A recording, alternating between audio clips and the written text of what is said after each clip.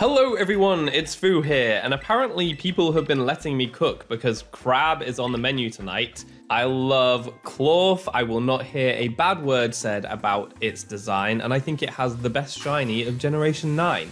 And for those reasons, I wanted to create a team around Klawf that allowed Klawf to do some serious sweeping. Unfortunately, its stats aren't particularly inspiring on that front, it's got a usable attack stat, but it's not the highest. It's got a decent defense stat. Its HP isn't too high, and it's very frail on the special side. And its speed stat is kind of too quick for Trick Room, but too slow for actually sweeping. But fortunately, it does have a new signature ability in Anger Shell. This gives it a plus one attack, special attack, and speed when its HP drops below half. Unfortunately, that also comes with the downside of dropping its defense and special defense by one stage too, which I kind of think is unnecessary for a Pokemon with such mediocre stats. Like, when you're below half health, you're very frail anyway, and dropping the defenses at that point means it will just get taken out by anything. But we take what we're given, and we'll have to make do with this for Klawf sweeps. The only issue is at plus one attack, Klawf still isn't going to be one hit KOing a lot of Pokemon, and at plus one speed, it's still not going to be outspeeding everything. You'll still need speed control on the team. But where there's a will, there's a way. And oh boy, do I have a fun team to show you. I'll take you through some battles and then discuss the team rental at the end of the video. If you do enjoy these videos about more overlooked Pokemon, then consider leaving a like and subscribing for more content. So in this first battle that I want to show you, we're up against a team featuring Gengar, which is pretty cool. They've obviously got Tailwind themselves, and my strategy also features Tailwind to make sure that Klawf can outspeed stuff, so I'll need to match that if possible. They also have a lot of priority, and I have Armor Tail for Regirock that can help protect against that and also a lot of spread moves in Hyper Voice Sylveon, Make It Rain Gholdengo. So I want to bring Hariyama for Wide Guard. And that also gives me like a Trick Room component in the back as well. So that's what I'm going to go with. But the most common lead for this team is going to be Salamence and Claudia the Cloth. So we don't get to see trainer cards for this battle. It's a weird glitch that's going on. Really don't understand it. But my opponent is going to lead with Talonflame and Gengar, two very fast Pokemon with the Talonflame having the Tailwind option there. So I usually like to set up Tailwind with my Salamence, but on this first turn, since I still won't outspeed the opponent with the tailwind up, I decide just to go for the activation straight away and you will see what happens here. So I have Earthquake on my Salamence and fortunately Salamence survives the Sludge Bomb. It's actually not really particularly close. So I get the Earthquake off and it does a ton of damage to Gengar, knocks it out in one. This is an uninvest, unattacked it's not invested in its attack stat at all. It's Life Orb, but it's not invested in attack, so I was surprised it took out Gengar. But obviously, it also activates my Klawf's weakness policy, which is absolutely fantastic. We get the Cursed Body, but that's fine because Klawf is now activated, and you can see that Anger Shell now activates as well. So we've got plus two attack from the weakness policy, we get another plus one from the Anger Shell, and we get the speed boost as well. Not that I'll be outspeeding the opponent at the moment because they've got Tailwind and I don't, we get the defense drops, which isn't ideal, but it's Klawf's turn to attack now. It's waited for all of those animations to go off, and it can just one-hit KO the Talonflame as well. I was kind of surprised that both of these Pokemon didn't have the Focus Sash. I guess Gengar might have been Choice Scarf, and maybe the Talonflame was Covert Cloak or something like that. Not really sure, but very good that we can just clear the opponent's two Pokemon first turn. Absolutely amazing. We don't have Tailwind though, and that's what I want to try to set up next, because at plus one speed, Klawf will actually outspeed Meowscarada if I get my own Tailwind up. So what I'm going to do here is, I think that I'll have to Defensive Tera with my Salamence. I'm Steel Tera, and I'm hoping that that will allow me to take a Hyper Voice from the Sylveon, and then I can, you know, get the Tailwind. While they have Tailwind, Sylveon may well out outspeed. I'm guessing that the Meowscarada is going to attack into the Klawf because obviously Klawf is the biggest threat right now. Klawf is just terrifying. The ambush Pokemon living up to its name with this surprise strategy. And so I'm hoping that my Protect with Klawf will mean that Meowscarada doesn't get any damage off this turn. So you can see my defensive Steel Tera with Salamence. It's just very nice typing for Salamence, which is great. And the Flower Trick does come out and goes into the Klawf and I can protect to mitigate that. So I now go for the Tailwind. Salamence actually moves before Sylveon, so it's not really a speed invested Sylveon. So the Tera wasn't really necessary. As long as Salamence got the Tailwind up, I didn't really need it to survive the turn. Um, but it's fine, it's still here. It didn't take any damage at all from that Hyper Voice, and the Sylveon gets its Throat Spray off, so it will be doing a, quite a bit of damage now. But this turn, I need to find a play because I really need to get damage into the Sylveon. This team doesn't have great damage into Fairy types, and Sylveon is very specially bulky, so I need to do some physical damage into it, and Klawf is really my best option there. The issue is that Meowscarada does have priority moves, so I eventually find the play, switch into Farigiraf, because that has the Armor Tail ability, which prevents either of your Pokemon from being affected by priority moves, and that means that because Klawf at plus one speed will outspeed the Meowscarada, I can definitely get an attack off. As I went for Rock Slide though, and that can miss. So when I say definitely, there's a bit of luck involved. But you can see the opponent doesn't predict the Armor Tail, they actually protect the Sylveon, which is really great because it means that it won't be getting any attack off this turn, and I can go for the Rock Slide to do massive damage to the Meowscarada. I get a crit, but I don't really think it matters because I'm at plus three attack, so doing massive, massive damage. Now I know that with the Tailwind, my my Farigiraf has a good chance of outspeeding the Sylveon, considering how slow it was. It wasn't able to outspeed a Salamence under Tailwind, whereas Farigiraf, I think, should be able to do that at least. So I should be able to outspeed the Sylveon.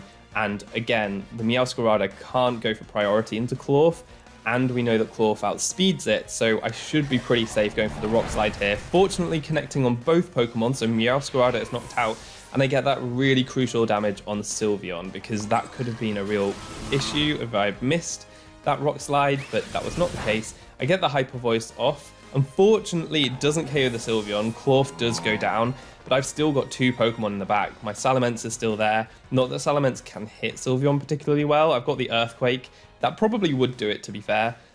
But then I've also got Hariyama, which has Wide Guard, it has Fake Out, so it's looking pretty good here. I bring in my Hariyama. My opponent doesn't really have any more plays and they cancel the battle there. So I thought that was a pretty nice battle just to demonstrate the activation of Klawf. Klawf becomes a KO machine with this setup. It's got just enough speed investment to outspeed Meowscarada when it gets its plus one speed. It's got as much attack as it can have outside of that, and just a little bit of bulk. And the Salamence is the main way to activate it because with Earthquake you activate Weakness Policy and you activate Anger Shell. It does just enough damage to put you in that Anger Shell range so that you can start doing a lot of damage and also get the, the important speed boost. What's nice about Earthquake as well is that it can't be redirected, so you will always hit the Klawf. I'll show you another battle with this part of the strategy and it's up against a very scary team. This team is the team that won the San Diego Regionals recently,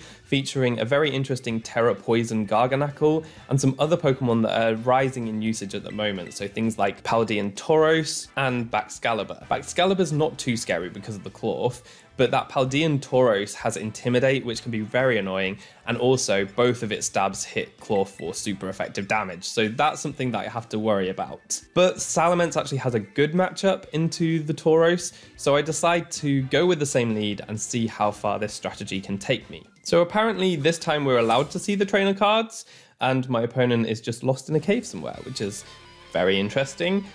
They are going to lead with Paldean Tauros and Gholdengo. Not so great to see the Tauros on lead because it does have Intimidate, and that means that Klawf's attack stat will be dropped, which is not good to see. It also means that Salamence's attack stat will be dropped, which is not ideal either because the Earthquake might not take my Klawf into Anger Shell range. Salamence's Intimidate goes first, indicating that Salamence is probably quicker than the opposing Tauros. I am max speed, so hopefully I can get the Tailwind off before the Tauros attacks. This first turn I am going to go for Tailwind and keep my Klawf protected because I don't have the damage output into the Gholdengo yet and I'm scared about Klawf taking a Make It Rain or anything from the Tauros as well. So I get the Tailwind off before anything else moves, which is great. The Gholdengo goes for a Power Gem, which I didn't really see coming, but it doesn't take out my Salamence, which is really, really great. Does a ton of damage, but I do avoid the KO. That's actually a Choice Specs Gholdengo, so it did do a lot of damage. I'm able to avoid any damage from the Tauros with the Protect from my Klawf. Now I really need to get Klawf activated. If I can activate the weakness policy, I think that I should be able to take out the Gholdengo. So I'm just going to go for the Earthquake and go for the Gholdengo. If I don't get in the Anger Shell range, it's not the worst thing. As long as Gholdengo goes down, that's really good. The opponent actually switches Gholdengo out, but they have Garganacl in the back, and that does still take super effective damage from both the Earthquake and the High Horsepower.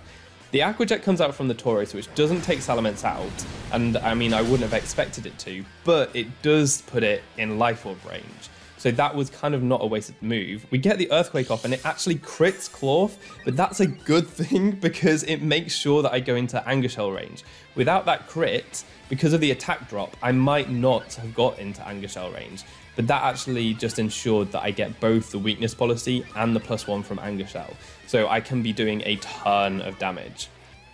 Now you can see that with the Anger Shell boost and after the Earthquake damage, I will be able to do a pretty decent amount into the Garganacl. Salamence does go down to Life Orb, as I said, but we can get the high horsepower off, we connect, almost take the Garganacl off. If we didn't have the Intimidate at the beginning of the match, that would have been an, a KO on the Garganacl.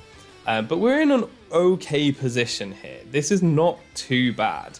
We can send in our Farigiraf now. I've got the Armor Tail, so I can protect my Klawf from any stray Aquajets. And in this position, I was considering going for a hyper voice, um, but actually that's not the play because Garganacl can go for wide guard, and Psychic really covers for a lot of things. If Garganacl wants to Tera, it's super effective, but it should take out Garganacl anyway. And I actually have Tera Blast on my Klawf, which I think my opponent thought their Tauros would be very safe. It's a very defensive Tauros, and even at plus two, most coverage moves that Klawf could run wouldn't be able to take out a Tauros.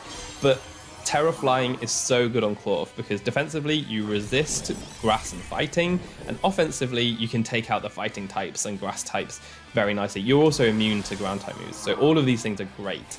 Um, I wasn't sure if Tera Blast would actually take out the Tauros at plus two, but fortunately it does because that is a very bulky Tauros. But we're able to take it out, which is really, really great. Klawf claiming another one, just putting in all sorts of work. It's so cool. I love this Pokemon. It's so beautiful with the shiny.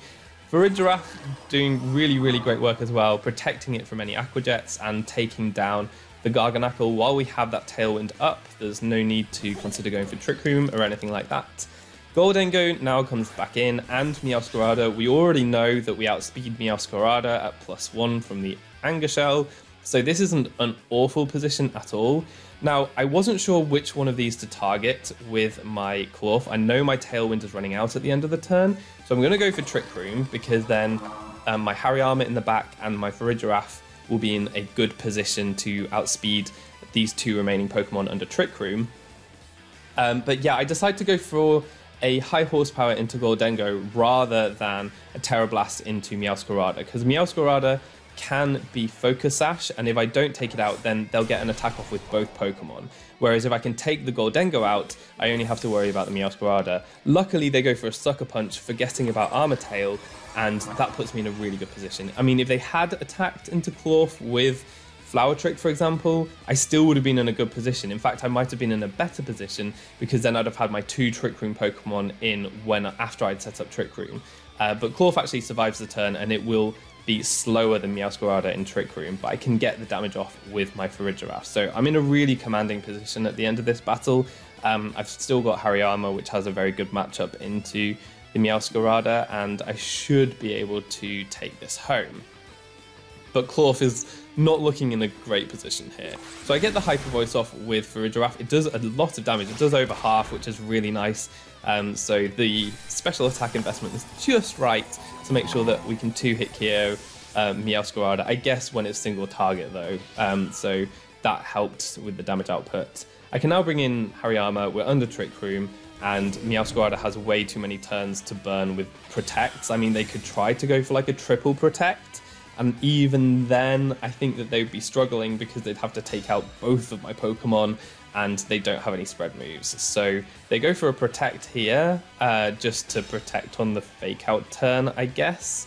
And uh, I go for the fake out and hyper voice um, it, it, didn't really matter on that one. I still have the Armor Tail to protect me from Sucker Punches. Hyper Voice goes first, and so it's Farigiraf that actually gets the last KO. So that one was another one just showing the strategy and actually putting it into practice against a very, very legitimate team. I know that it's not piloted by Jin Suk, the person who won San Diego Regionals, but still it's a very strong team with proven results and it's just nice to see that this, which is a more gimmicky team, can still hold its own against these very strong and well put together teams. So now just to briefly go over the team before I take you through some of the different modes, we have the Salamence and the Klawf combo. That's the one that you've seen the most at the moment.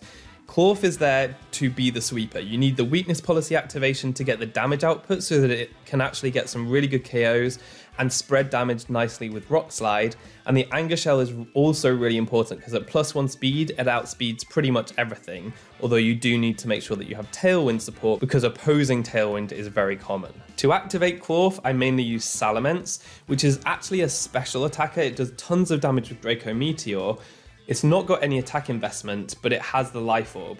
With zero attack EVs, but Life Orb, you actually take Klawf down to just under half health, which is the perfect range to put it in Anger Shell range. And if you crit, you don't knock out your Klawf. That's really important. So it's just the perfect combo. You've seen Klawf with the Tera Flying, which is good defensively and offensively, and you've seen Tera Steel and the Salamence, which is a defensive typing, which is really helpful. The alternative setup mode is with Lumineon. Lumineon also has Tailwind, and it can activate Klawf with Surf activating the weakness policy and Anger Shell again, just.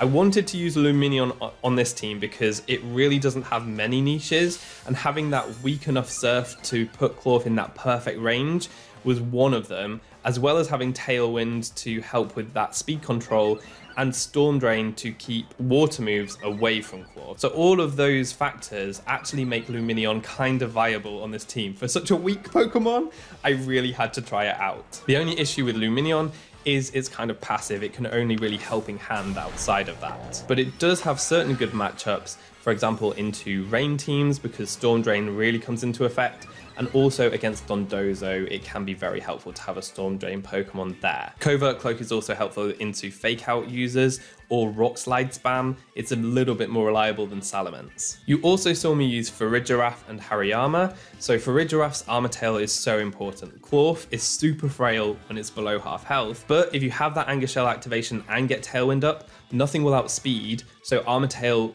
really comes into its own. Hyper Voice and Psychic are just nice for damage. Hyper Voice, especially with the spread, is great and it's Tera Normal to do more damage with that Hyper Voice. But it also means that Farigiraf can be a Trick Room option for late game when Klawf has spread that damage around. You can then Trick Room and clean up with the trick room elements on the team. And safety goggles is really important. It means that Farigiraf is really a complete counter to a Amoonguss, and you can't be put to sleep before you get your trick room up or anything like that. So really, really great. Hariyama's there, just a good trick room attacker. Fake out support for Klawf is helpful. Wide guard support for Klawf is helpful. And then other than that, close combat and knockoff are very, very powerful moves to use. And again, Flame Orb helps your matchup against Amoonguss you can't be put to sleep. The last Pokemon here is Arboliva. I needed something that could do damage into Dondozo, and this thing with this spread kind of does that relatively well because Energy Ball obviously is the main way to hit it. I had the smart idea to pair it with Absorb Bulb because then if you can self-surf with Lumineon, you get the Absorb Bulb activation giving you plus one special attack, and Seed Sower activates so you get grassy terrain, meaning your energy ball will do a ton of damage. But actually in practice, I haven't used this combination so much. But if you do go up against Dondozo, having the energy ball is super important. And if they decide to Terastallize into a dragon type, you have Dazzling Gleam, or a steel type, you have earth power. So that's very helpful in those circumstances. It's just generally a good Trick Room attacker. So that's the team, but I do just want to show off the other mode because you can't always rely on the Klawf mode, especially into things like Rain. Klawf does not do well into Rain. So to put into practice what I was just talking about with the other mode, this battle is against a Trick Room team slash Rain team with a Palafin, but also with a strong Trick Room component. Klawf won't do particularly well into it because it doesn't really like the rain matchup and also the Trick Room matchup isn't fantastic either. The game has allowed us to see trainer cards for this battle too, how benevolent, and my opponent does have a cool little cat theme going on. But anyways, they are going to lead with their Palafin and Amoonguss, which is actually a pretty good lead for me because I have my Farigiraf and Lumineon. Farigiraf doesn't fear anything from Amoonguss because I have the safety goggles, and Lumineon has the Storm Drain, so Palafin can't really be doing anything into this either. I want to protect with my Lumineon because it is slightly vulnerable to a Spore, although I'm guessing that the Amoonguss will go for a Spore into Farigiraf instead.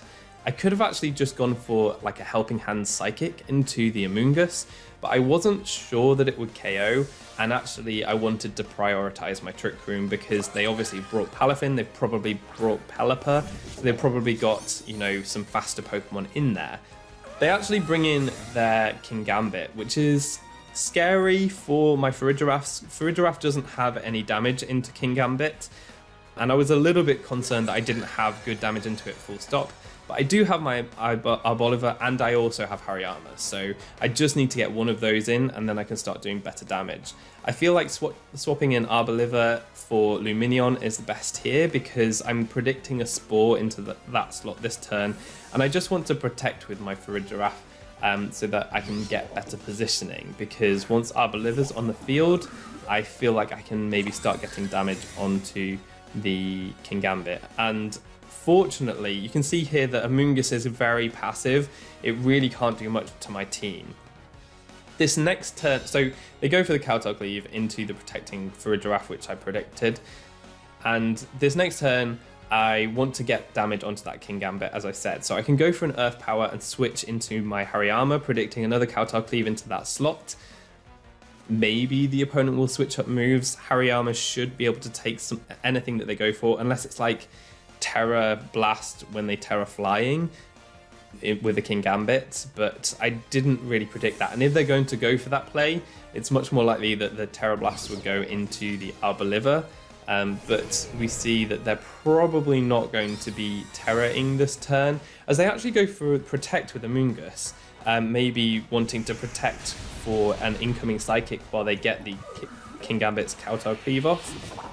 I do predict it, predict it correctly, and Hariyama can resist that Kowtow Cleave while I get my Flame Orb. So that's really nice because now Amoonguss doesn't have the opportunity to Spore Hariyama as I've already got the Flame Orb active.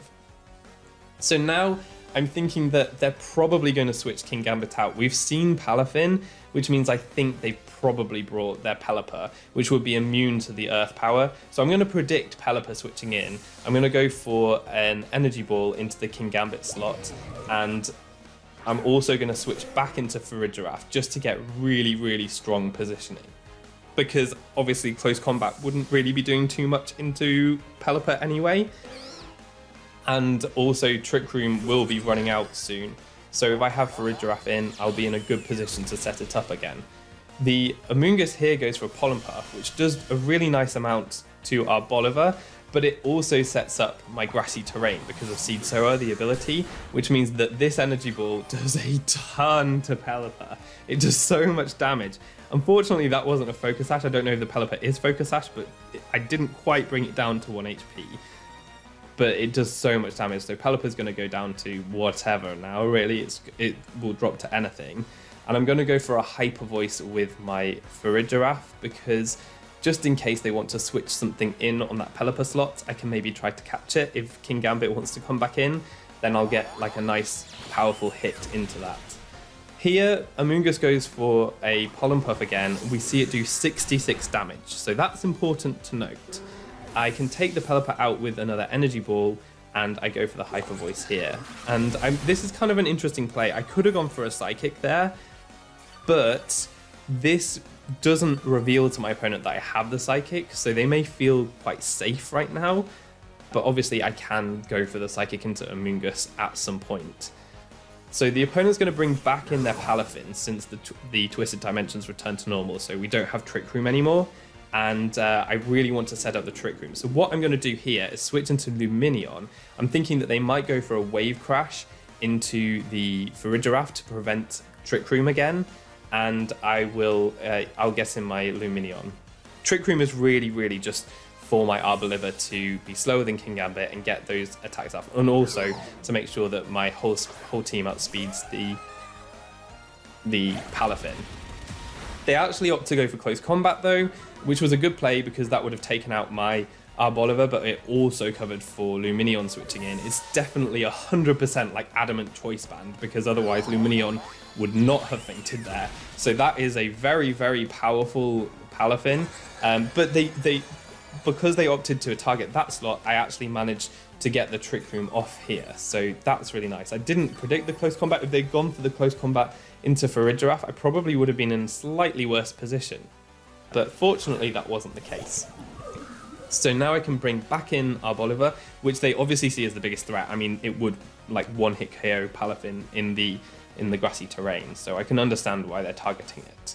So here I can go for another energy ball into the Palafin. I'm thinking that even if they withdraw, in the grassy terrain, my energy ball is going to be doing a lot of damage to Kingambit, and I want to go for a Psychic into Amoonguss because I really need to get some damage into that. The, another Pollen Puff comes out here, and I think at that time it did 68, so it's been doing quite a lot of damage, varying between 66 and 68. I get a crit with my energy ball, which does tons of damage, and I'm able to get the Psychic into the Amoonguss. It doesn't quite take it out though um, which is kind of annoying. I get the special defense drop, but at such low HP, probably isn't going to come into play. So here I have to be careful because obviously Kingambit is a bit of a threat. I'm not sure if Earth Power will KO Kingambit. I am going to go for it, but I'm just not confident that it will. So I want to protect with my Farigiraf. It will give me a bit more grassy terrain recovery too, um, because at this stage Amoonguss can also take out my Farigiraf. Farigiraf is threatened by both of them. It's really interesting to see how the uh, Pollen Puff is a really powerful offensive tool for them, and it's hard to know where they're going to be targeting it because it could go into either of my Pokemon or Kingambit. And I'm thinking that maybe they will want to take out my Farigiraf with the Pollen Puff, so I'm going to protect that, or they're going to Pollen Puff and then Kowtow Cleave. What I didn't see coming was that they went for the Pollen Puff into my Arboliva, which they really, really want to KO because if it's still around and they have their Palafin, then I'll be able to take out Palafin. Um, but I'm able to take out the Kingambit with the Earth Power, which is great. I guess that they're a little bit concerned about predictions and they don't want to switch in Kingambit at, at, in Palafin at any point um, because I predicted their switch into Pelipper early. So that's put me in, in kind of a good position there. Unfortunately, grassy terrain does wear off my Farigiraf is at 68 HP. We've seen that Pollen Puff ranges between 66 and 68, so it looks like they need a high roll to be able to take out my Farigiraf with a Pollen Puff, and that's why this turn I just double, because I'm not sure if my Energy Ball will KO the Palafin. I'm protected by Jet from Jet Punch by Armor Tail at the moment, and so I really need to get attacks into Palafin while Trick Room's still up, knowing that it's choice banned and it can't protect. That's really important. So they go for the Tera Water this turn, and I guess what they could have tried to do is go for a Pollen Puff into Farigiraf to try to take it out. They actually go for a Protect with the Moongus. I'm thinking that they were baiting one of my Protects. I'm thinking that they might have uh, expected either my Arboliva or Farigiraf to protect this turn, um, and so that they could, you know, protect with the Moongus and get an, a KO with their Palafin. But that wasn't the case. I was just going straight for the attacks. I still had my Hariyama in the back, which could fake out, and so that was a reasonable position for me to be in. Um, I made a slightly risky play because if they had Pollen Puffed into Farigiraf and taken it out, um, then I, I maybe could have still lost. Uh, we will never know because they do the pollen puff the next turn and it crits, so we won't know what kind of a roll they might have got if they went for it the previous turn. Uh, but at that point, it was a little bit too late for the opponent, and they can take out the Amoonguss with an Earth Power. So that is the other mode to the team, and I really, really wanted to show it off because if you do want to try this team, be aware that Klawf is not the only way. You can't win all your battles by picking the Klawf mode, even though that is obviously the reason behind the team and it's very, very fun. The Trick Room component is very important to consider. So that's the team. It is more of a meme team, it's not so consistent. Klawf is not the most viable Pokemon, so trying to get it to work is tricky, but it can work with this team, and oh boy, is it satisfying when it does. If you enjoyed the video, please leave a like and subscribe for more content. All that's left to be said is I've been Foo, you've been awesome, and hopefully see you next time. Goodbye.